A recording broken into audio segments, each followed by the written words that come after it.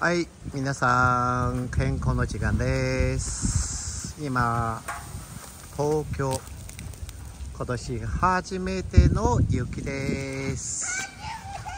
7センチです。実際天気は春もあるし雨もあるし風もあるし雪もあります。実際世の中そういうこと雪になると雪の綺麗も真っ白の全く別の世界で。これは大自然の景色です。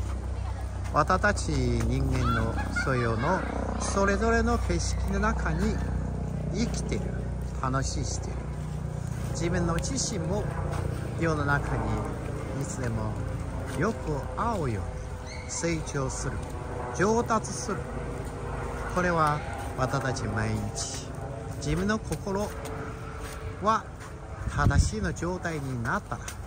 毎日の生活習慣行動は正しくしたら。皆さんはそういう上達になるの夢と希望になるでしょう。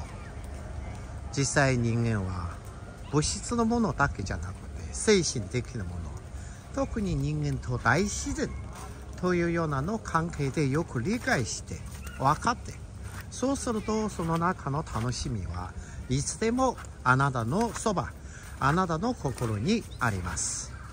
要はあなた気をつけているかどうかあなたはそういうようなものは認めているかどうかそれは一番重要なこと。あなたは目はどこについたらあなたの心はそっちのところによくであの考えてる。